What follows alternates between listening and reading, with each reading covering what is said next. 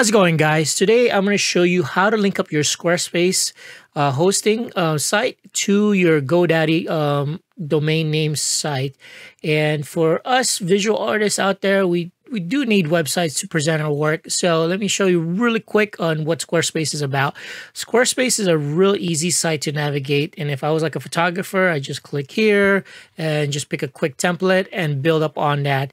And I've used other content management systems before, such as Concrete 5 and dabble a little bit with WordPress.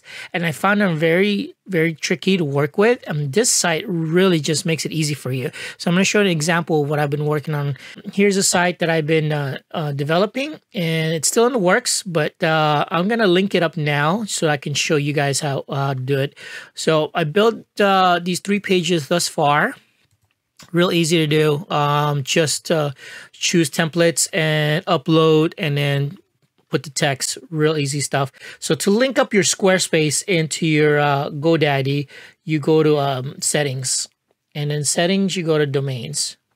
Now, get domain. Uh, it means that if you are trying to get a domain through uh, Squarespace, uh, I would not recommend that. I would recommend use a domain name I own, such a third party like uh, GoDaddy. So this way, down the road, if you decide to cancel your service with Squarespace, uh, you still have control of that domain name under uh, a third party, and you can go to another hosting company. So let's go on and do this process.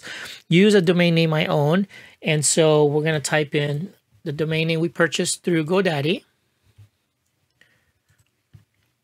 And then and it's going to show up uh, as this register GoDaddy. We want to connect the domain name. Okay, so connect the connect the domain. And since uh, I'm already logged in through GoDaddy, I think it should just prompt me to connect it. We just wait for a few seconds here to connect. Okay, here we go. So connect uh, to GoDaddy. Let's uh, connect this. Okay, you've successfully connected because I was already logged in. It says go to connecting to your site, continue uh, to set up your DNS and then click continue.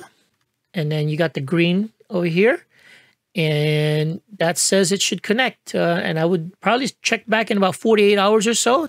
And that's pretty much it, guys. If you guys ever wanted to work on a website, uh, real easy stuff, go to squarespace.com and then connect it to a third party uh, domain name site and then just do that um, process and you should be good to go. If you guys have any questions, comment below. If you like this uh, video, click like and subscribe and I will see you on the next video. Peace.